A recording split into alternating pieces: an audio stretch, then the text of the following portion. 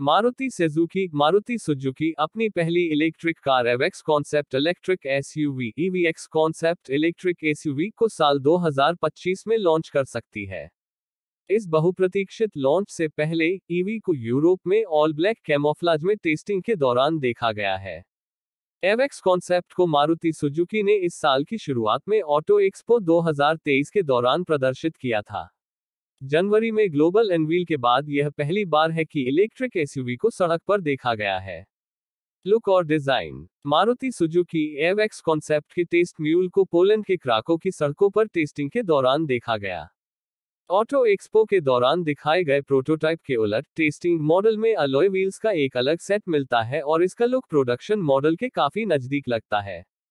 ज़ाहिर तौर पर कॉन्सेप्ट वर्जन और पोलैंड में देखी गई टेस्टिंग यूनिट के बीच कोई बड़ा अंतर नहीं है। ऑटो एक्सपो में हुई थी पेश। ईवी को अबन पर्सनल मोबिलिटी के लिए डिज़ाइन किया गया है और यह मज़बूत सुजुकी 4x4 ड्राइव क्षमता के साथ आती है।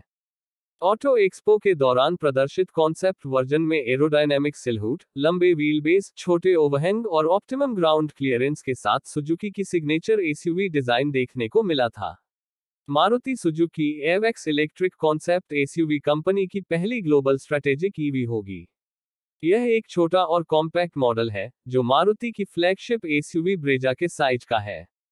मारुति सुजुकी ने कहा कि कॉन्सेप्ट मॉडल की लंबाई 4300 मिलीमीटर, चौड़ाई 1800 मिलीमीटर और ऊंचाई 1600 मिलीमीटर है। उम्मीद है कि इसका प्रोडक्शन वर्जन भी इसी साइज़ का होगा। आगामी एवेक्स इलेक्ट्रिक एसयूवी के बारे में बहुत कम डिटेल्स सामने आई हैं। कार निर्माता ने पहले पुष्टि की थी कि ईवी बैटरी पैक से लेस होगी। लॉन्च होने पर मारुति सुजुकी एवेक्स इलेक्ट्रिक वाहन एक बार चार्ज करने पर 550 किलोमीटर तक की ड्राइविंग रेंज दे सकती है। नया प्लेटफॉर्म। मारुति सुजुकी ने यह भी पुष्टि की है कि एवेक्स कॉन्सेप्ट का डेडिकेटेड ईवी प्लेटफॉर्म सुरक्षित बैटरी टेक्नोलॉजी के साथ आएगा।